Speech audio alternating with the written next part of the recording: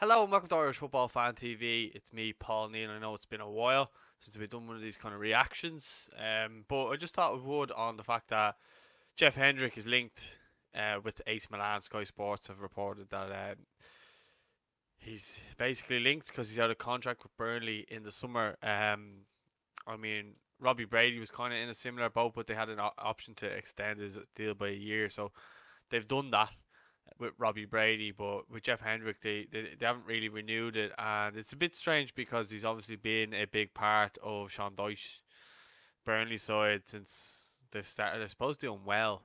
Um, he came in after the Euros, and he's he's done decent for them, but he's been more of a kind of utility player than I would say his natural kind of position would be like an attacking midfielder, which he hasn't really been playing for for Burnley. I mean, he's been put out wide, right, and kind of mixed around everywhere on more of a defensive job. Obviously, playing with Burnley.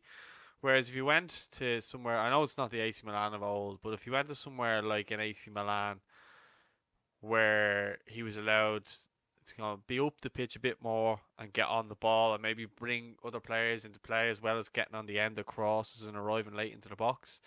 I think it could actually work out as a really beneficial thing for, for both Jeff Hendrick and for Ireland. I mean, if he's playing a kind of continental type of football with AC Milan, I mean, there's no reason to say that he can't, you know, really be a, a big part of of Stephen Kenny's, I suppose, European Euros campaign. Sorry, um, and then leading into the World Cup because that's ultimately uh, everybody's saying now that that's ultimately what Stephen Kenny's going to be judged on is the World Cup campaign. So I mean if Hendrick did go to AC Milan, I don't think it's as bizarre and as uh, you know outrageous as, as other people think it actually is. Because in all reality, it's um, it's actually a positive thing. I mean, how many times have we done videos and come out and said that we would like to see someone like uh, Troy Parrott or any of the younger lads going to Germany or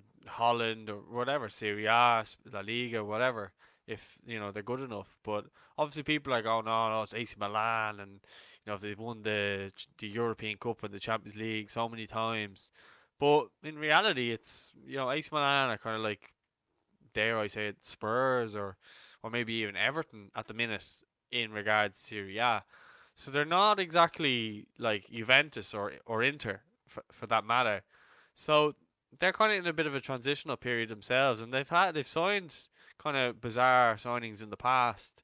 Um, I, I, I think of um, Kevin Prince Boateng, and there was other players that they signed. I didn't think that you know they were they were shoe ins to sign for them. I thought there were a bit strange ones, especially you know Boateng, and I think there was um there was no, I can't think of his name now, but there was there was um, Sulley Muntari I think went there too, or did he go to Inter? No, he went to Inter. Um, but there's been bizarre signings. I mean, the, the, they used to sign players off each other all the time, and probably bigger back then because there were bigger clubs. But I just think if Hendrick is allowed to to, I suppose he will be allowed to speak to them at this point and maybe sign a pre-contract if he was to go. But I just don't see what's the what's the the problem if he does go, or what's the you know people I've seen a lot of negative uh, headlines towards him online, and I just didn't really get the the negative headlines. I mean, surely we should be happy that one of our players is going to such a really good club. Now, the, I, the reason I say really good club and not really, you know, a top club because they're not a top club at the moment.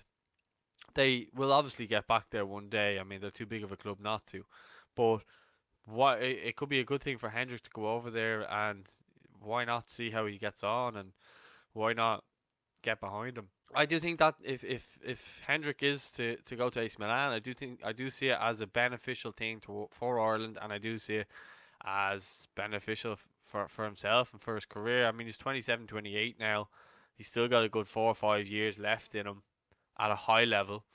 That he why not go over and see how he gets on in Serie A?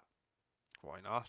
There's other Premier League clubs linked to him as well which could be good as well if he if he's if he stayed here. But I, I don't see any harm in him going abroad. I, I understand if Mick was still in charge because I know he wanted players staying in and around uh, Ireland and the UK, so therefore he could see them more. But I mean, you can get Serie A everywhere. So it's not like a case of they don't have to actually go to the match and watch them. Although I know they would like to, uh, if that is the case. But I, I just see it being a, positive. Um, let me know your thoughts in the comments anyway regarding it because I'm not going to really dwell on it too much. But I just thought I'd do a little video and kind of give my two cents on it because it's been a while. Uh, by the way, I hope you're all doing great and uh, you know I've kind of missed you. I know the weather's been fantastic and, and so start leaving your comments and uh, engaging and interacting in the comments again because I've missed that to be honest with you, and um, I hope everybody who is a fan of the show has been keeping safe and uh, all the family members are, are well and just yeah, um, we really appreciate all your support and obviously throughout this we've managed to keep getting good guests on. It's kind of dried up now, but um, we we do it all for you guys. So as I said, um, drop a like on the video if you wouldn't mind, and uh, we'll speak to you soon. Thanks for watching. Okay.